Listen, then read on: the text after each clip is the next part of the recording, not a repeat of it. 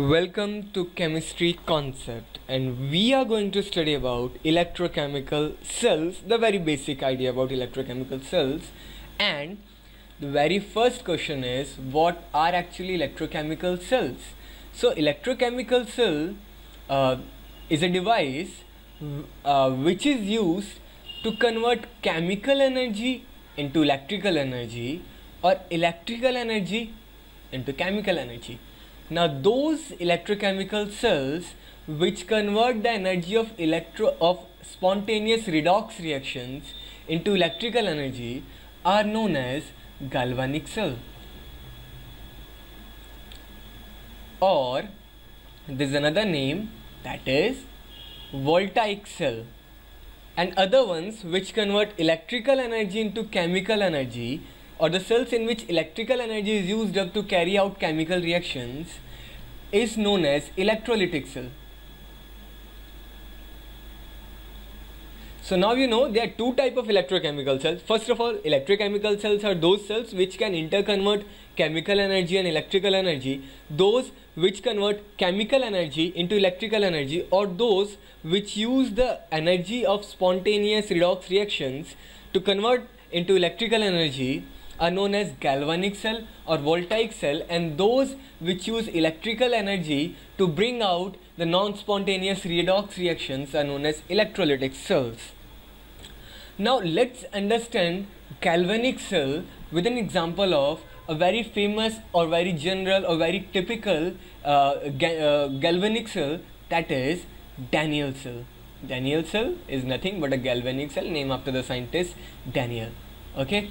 So it is a galvanic cell. It converts obviously chemical energy into electrical energy. Actually it converts the chemical energy of the reaction of the redox reaction zinc with copper 2 positive to give zinc 2 positive and copper. This is the redox reaction which takes place inside the Daniell cell and it, it is a redox reaction so there is involvement of electron and those electrons are used up to produce electrical energy okay? And what happens let's have a look okay?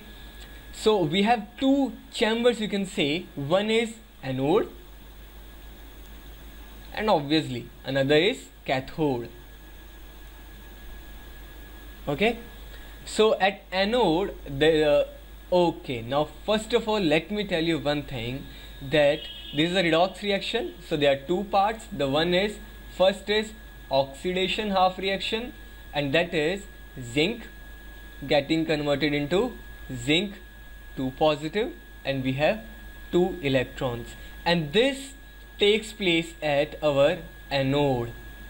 Another is reduction half reaction and in this what is happening? That copper 2 positive is taking those two electrons and getting converted into yes copper. So oxidation and reduction okay? So oxidation takes place at anode and the reaction involved is zinc to zinc 2 positive plus 2 electrons are produced and though these two electrons are now transferred through the external circuit in the in the in the next container in which the, uh, the reduction reaction is taking place the copper 2 positive takes those two electrons and get converted into copper. Fine. So what is the basic criteria? There is a redox reaction uh, in which transfer of electron is taking place. So we will we'll, we'll split them into oxidation half reaction and reduction half reaction and we will carry out the oxidation re uh, half reaction and reduction half reaction into separate chambers or separate uh, containers and the electron transfer will take place through an external circuit. And the transfer of electron is nothing but electric current. So we get electrical energy. Okay? Fine. So and there is a salt bridge. There is a bridge which connects the two half cells. We, we call them half cells why? To complete the circuit. If the circuit is not complete the cell will not work obviously. Okay? Now the composition of Daniell cell is that that at anode we have ZnSO4 solution. Okay? And which is uh, and at our cathode we have copper sulfate solution. Okay? And again aqueous. And the concentration for both is 1 mole per decimeter cube. Fine? Okay. And then we have the zinc electrode dipped into ZnSO4 copper electrode zipped into copper CuSO4 or copper sulfate. Okay? Fine. So concentration is 1 molar per decimeter cube. And when the concentration is 1 molar decimeter cube then if we connect a voltmeter then we get a potential of 1.1 volt. So this is actually a typical Daniell cell which is a type of galvanic cell. Okay now now uh, let me do one thing. What what I'll do that I'll connect an external battery to this cell. Okay fine. I'll connect an external battery. Now if now there are two type of potential. One is external potential that is potential of the battery. Another is the cell potential that is internal potential. Okay? Now the internal potential is 1.1 volt. Now until the external potential is less than 1.1 volt the cell keeps on working the same way. Electrons are transferred from zinc to copper that is from anode to cathode okay? No problem.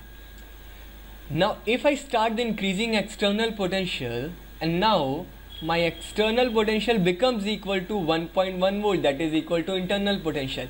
At this time there are two opposite potential with equal value. So there is no flow of electrons. There is no flow of uh, electricity also and the cell stops working because two external potential internal and external are equal now.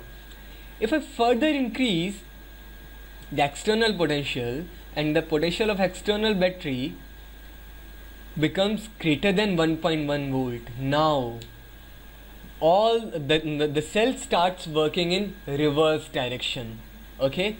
Now the electrons from the external cell are used up to carry out the reactions in reverse direction okay? The first uh, earlier zinc was getting converted into zinc 2 positive. So when the external potential is more than 1.1 volt then the reverse will take place and zinc 2 positive will start converting into zinc. So what is happening? Actually now we are using external electrical energy to carry out a reaction which was otherwise not possible. So now we are using the electrical energy to carry out uh, a non-spontaneous redox reaction. And now my cell is working like an electrolytic cell. Okay